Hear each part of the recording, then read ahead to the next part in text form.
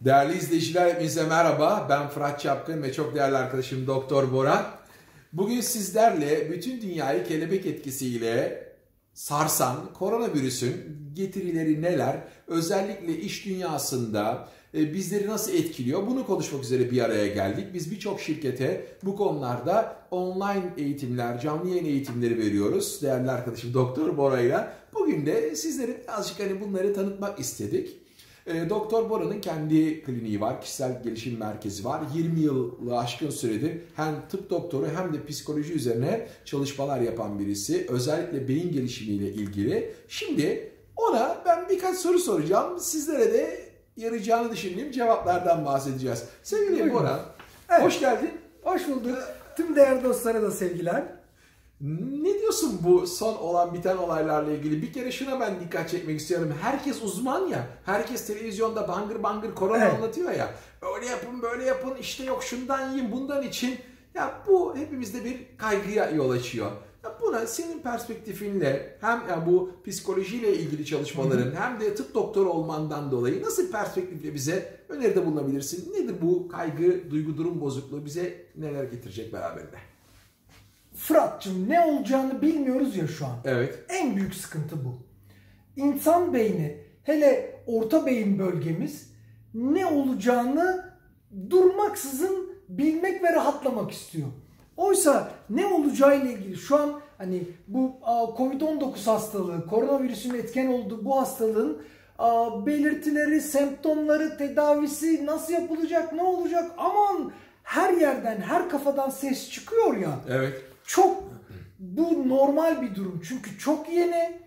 Dünya olarak neler yapacağımızı yeni yeni keşfediyoruz ve bu süreçte ne yazık ki her kafadan da ses çıktığı için ve bizler de ah acaba bu şöyle mi söylüyor? Ah gerçekten kelle paça mı içmem gerekiyormuş? Neymiş diye Bir de sumak var biliyorsun. O da yeni hani sumakları artık suya mı dökeceğiz? Ka- karşılayıp mı yiyeceğiz? Hani bu kadar mesaj kirliliği içinde hele benim bir de en bayıldığım şey var ya değerli dostlar benim aa, Üsküdar Devlet Hastanesi'nde çalışan tanıdığım bir teyzem var. Onun da kuzeninin komşusu varmış. Böyle başlayan WhatsApp mesajları ya. Efsane ama onlar. Ya şimdi bütün bu mesaj bombardımanları içinde değerli dostlar çok net. Önce sakin olacağız. Birinci kural. Sakin, Sakin sükuneti koruyoruz. Ve bir mesaj filtresiyle beraber bir süzgeç uygulamamız gerekiyor. Aksi takdirde bu sosyal medyadaki bu anlamsız bombardıman ruhlarımıza zarar veriyor. Bu süzgeçte de çok net. Bilgiyi nereden takip edeceğiz değerli dostlar? Bu konuda bir, Dünya Sağlık Örgütü ne diyor? İngilizcesi olanlar oradan takip etsinler. Abi Boracığım ben burada seninle ayrı düşeceğim. Dünya Sağlık Örgütü kim ki arkadaşlar değil mi? Ya oradan biz niye beslenelim Boracığım? Ya bizim Mehmet abi varken bakkal o da biliyor bu konuyu. çok iyi biliyor. Eminim Bakkal Mehmet abimiz çok iyi biliyor. Aferin hani o bilgileriyle beraber devam etsin.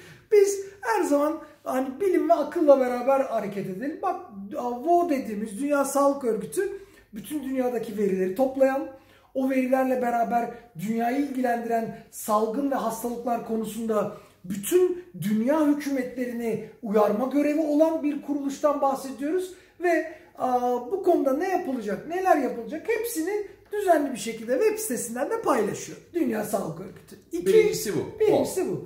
İkincisi aa, hani İngilizcemiz yok, Dünya Sağlık Örgütü'nü takip edemiyoruz. Hemen döneceğiz Türkiye Cumhuriyeti Sağlık Bakanlığı. Sağlık Bakanlığımız bu konuda son derece güzel bir şekilde aa, vatandaşlara, ailelere, doktorlara neler yapılacağını çok ince eleyerek açıklıyor. Sağlık Bakanlığı'nın verilerini güzelce takip edeceğiz. Bir üçüncü olarak da aa, Tabipler Birliği. Tabipler Odası çok düzgün bir şekilde bütün hekimlerden gelen Türkiye'deki geri bildirimlerle beraber 100 yılı aşkın süreden beri var olan deneyimiyle Tabipler Odası da kendi deneyimlerini ve bilgilerini vatandaşı korumak adına açıklayan bir üçüncü kuruluş olarak da onu söyleyebiliriz.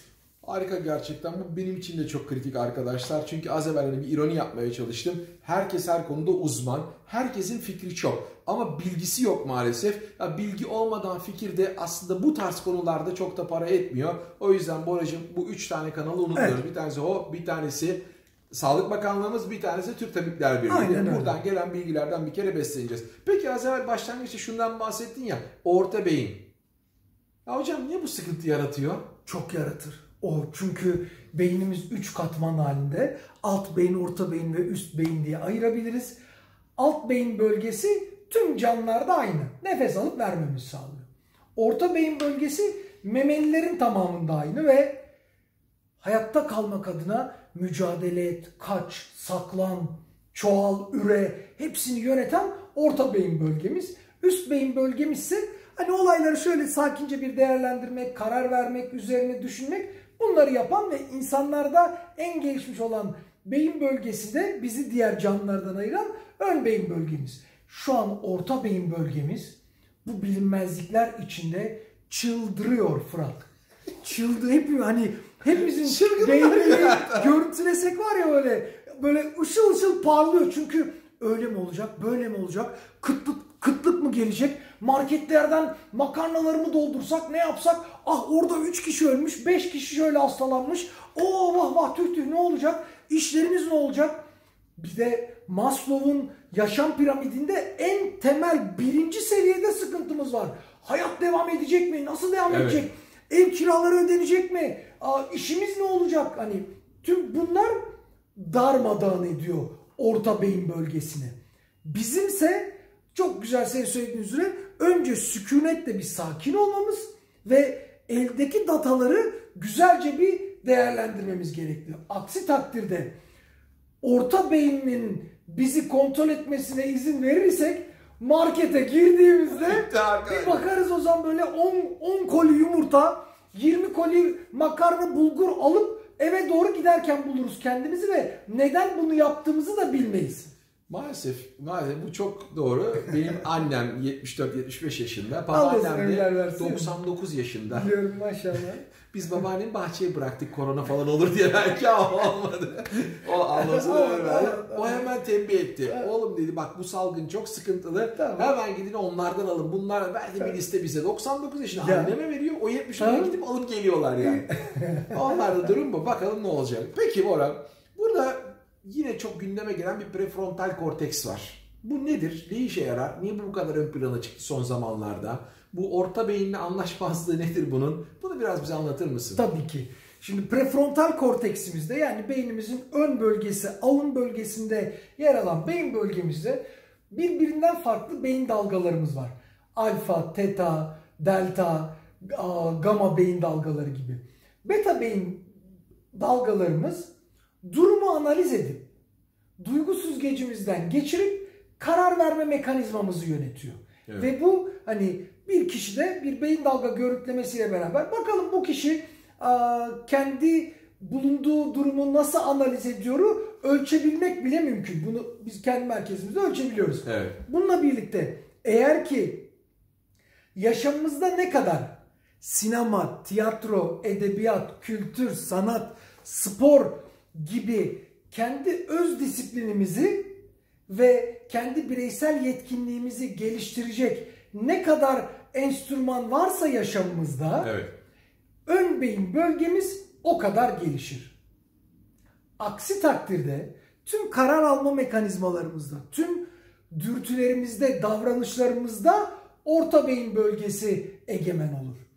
Yani bir kişi ne kadar kendisini disipline eder, ne kadar eğitir, ne kadar kendisini doldurur ise Evet. bilgi, birikim ve deneyimle o kadar zor koşullarda bilinmezler karşısında ne yapacağını o kadar iyi organize eder. Peki o zaman Bora şunu sormak isterim. Ee, bizim bu kaygıyı, endişeyi, duygu durum bozukluğunu kontrol altına almak istediğimizde e, hangi beynimizin hangi kısmının aktive olması lazım? Prefrontal korteks. Doğru. Peki bunu aktive edebilmek için o dengeyi nasıl kurmak gerekiyor? Çok güzel bir soru. Şöyle toparlayalım dilersen. Hele a, izleyiciler, izleyicilerimize de bir yol göstermesi Evet. adına. Şimdi a, evde bulunduğumuz şu karantina günleri adına da düşünürsek bir kere yaşamımızı ne kadar düzenlersek beyin düzeni çok seviyor. Örneğin bugün şöyle bulunduğumuz ortamlarda bir düşünecek olursak bir maden işçisinin yaşamını ele alalım. Her gün sabah erkenden gidiyor, saat 7'de 8'de kalkıyor. Ya, yerin işte 1 kilometre 2 kilometre altında Evet. 12 saat mesai geçiriyor ve yukarı çıkıyor. Hani böyle yaşam olur mu diyoruz ya. Senle beni de yaşam koşulları o maden ocağının kapısında bir sabah eğer hazır ol da tutacak olur ise emin ol bir hafta sonra hiç zorlanmadan bak altını çiziyorum hiç zorlanmadan paşa paşa elimizi yüzümüzü yıkayıp hadi bakalım işe geldik deyip giyip böyle 8'de o maden ocağın kapısında olursun. Çünkü ne kadar bir düzenin içindeysen, ne kadar ne yapacağının belirsizliği yok olmuşsa, ne kadar içinde sıralı bir şekilde belirlenmiş hamlelerle hareket ediyorsan beyin o kadar rahatlıyor. Şimdi e hadi bakalım karantina günlerindeyiz, evdeyiz. Ne yapacağız? Ne yapacağız Bora? Kaçta kalkacağız? Ortamı nasıl düzenleyeceğiz? Neler yapacağız? Şimdi bunlarla ilgili eğer bir kendi to-do listimiz, bir hareket planımız, bir aksiyon planımız, koyduğumuz Evet. hedefler, gün planları yok ise işler zorlaşır. Ee, Şimdi şöyle güzel bir yere geldik aslında Ee, değerli izleyiciler. Bizler sabahleyin kalkıp hazırlanıp işe gidip ofiste işlerimizi doğru düzgün yapıp toplantılara katılıp işte eğitimlerimizi veren veya işte günlük rutinimizdeyse bunları yapan insanlardık. Sabah trafiği, akşam trafiği, işte öğle yemeği falan derken şimdi bu disiplin birdenbire hayatımızdan çıktı. Bununla beraber belki de hani oradan bir tane pim de çekildi hayatımızda. Evet. Şimdi geldik eve. Bora gayet güzel hani insanlar aa rahat mı çalışacağım yoksa ay hiç çalışamayacak mıyım falan kafa böyle dönüp dururken biz home office ortamı dediğimizde bunun psikolojisi nedir bizi nasıl etkiler olumlu yönde nelere dikkat etmek lazım olumsuzlarını da nasıl bertaraf ederiz? Dilersen hem bir kahve arası verelim hem de videonun ikinci bölümüyle de evde çalışma psikolojisinin üzerine devam ediyor olalım. Anlaştık kahveler Bora'dan çok güzel yapar tavsiye ediyorum. Görüşmek üzere.